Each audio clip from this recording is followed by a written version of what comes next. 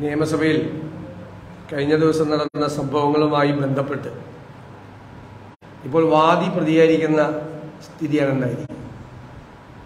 ഏഴ് M L എമാർക്കെതിരായിട്ട് കലാപം നടത്തി എന്നത് ഉൾപ്പെടെ ജാമ്യമില്ലാത്ത കേസിലെടുത്തിരിക്കുകയാണ്. പത്ത് വർഷം വരെ തടവ് ശിക്ഷ കിട്ടാവുന്ന സെഷൻസ് കേസാണ് ഈ വാദികളായ എം എൽ എമാർക്കെതിരെ എടുത്തിരിക്കുന്നത്. അവർക്ക് വർധനവുമേറ്റു. അവരുടെ പരാതിയും കൊടുത്തു. അവരുടെ പരാതിയിൽ തിരിച്ചെടുത്തിരിക്കുന്ന കേസ് ഭരണകക്ഷി എം എൽ എമാർക്കെതിരായും ഡെപ്യൂട്ടി ചീഫ് മാർഷലിനെതിരായിട്ട് എടുത്തിരിക്കുന്ന കേസ് ജാമ്യമുള്ള കേസ്. അത് വെറുതെ പേരിന് വേണ്ടി എടുത്തിരിക്കുകയാണ്. കെ കെ രമ ഉൾപ്പെടെയുള്ള ആളുകൾ കൊടുത്ത പരാതിയുടെ പുറത്തൊരു കേസ് കൊടുത്തിട്ടില്ല ഇതുവരെ.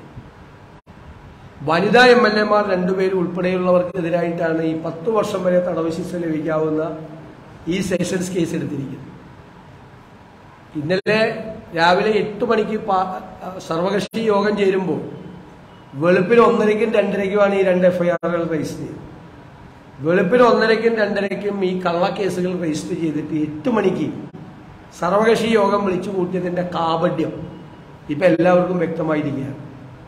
അപ്പൊ സർവകക്ഷി യോഗം വിളിച്ചത് ഈ പ്രശ്നങ്ങൾ തീർക്കാനല്ല. പ്രതിപക്ഷത്തെ പ്രകോപിപ്പിച്ചുകൊണ്ട് വാദികളായ പ്രതിപക്ഷ എം എൽ എമാർക്കെതിരായി വനിതാ എം എൽ എമാർക്കെതിരായി നോൺ ബെയിലബിൾ ആയിട്ടുള്ള കേസ് എടുത്തിട്ടാണ് സർവകക്ഷി യോഗം മുഖ്യമന്ത്രി വിളിച്ചു ചേർത്തത്.